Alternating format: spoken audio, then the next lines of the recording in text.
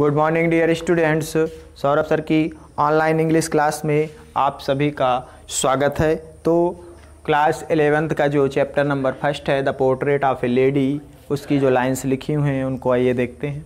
लिखा है the next morning she was taken ill next morning अगली सुबह सी वाज टेकन इल वह बीमार हो गई। अगली सुबह, वह बीमार हो गई।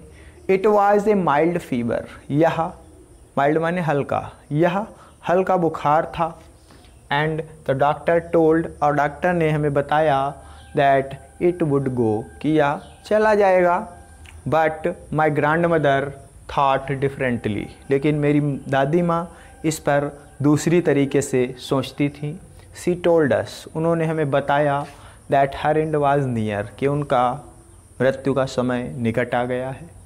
शी सैड उन्होंने कहा that since only a few hours before अपने जीवन के अंतिम क्षणों या अंतिम घंटों से पहले the close of the last chapter of her life अपने जीवन की यात्रा समाप्त करने के अंतिम क्षणों से पहले she had omitted to pray उन्होंने ओमिटेड माने? ओमिटेड माने शुरू कर दिया क्या? ओमिटेड माने कर दिया शुरू, बिरो वो, छोड़ दिया।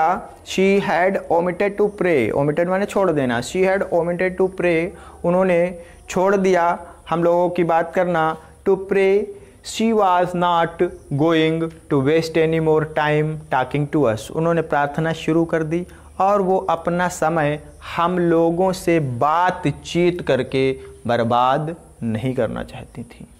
वी प्रोटेस्टेड हमने विरोध किया। बट शी इग्नोर्ड लेकिन उन्होंने इसे अनदेखा किया। आवर प्रोटेस्ट हमारे विरोध को सी ले पीसफुल्ली वो शांतिपूर्वक लेटी रहीं। इन द बेड बेड में praying and telling her beads उन्होंने प्रार्थना की और वो अपने माले के मनकों को गिनती रहीं। तो आज के लिए बस इतना ही। That's all thank you